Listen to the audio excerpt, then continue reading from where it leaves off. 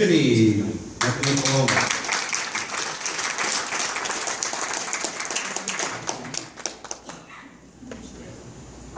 Uh, Anthony, one of our captains, uh, again, like John, uh, a, a sophomore.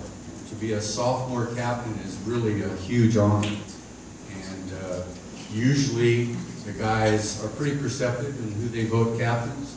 But usually, quite honestly, they usually vote for one of the best players. And, Anthony, let's let's be serious, was one of our best players on our team. And, uh,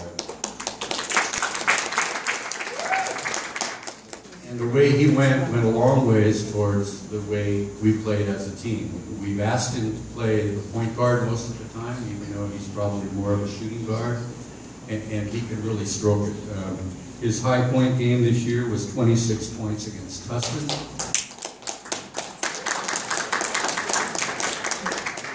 And basically everyone labored to score in that game except him. They, they couldn't stop. It, it was just, it was really a, a, beautiful thing to see since we eventually won the game.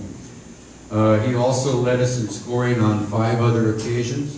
Uh, definitely a very skilled offensive player who's going to do great things in the program. Anthony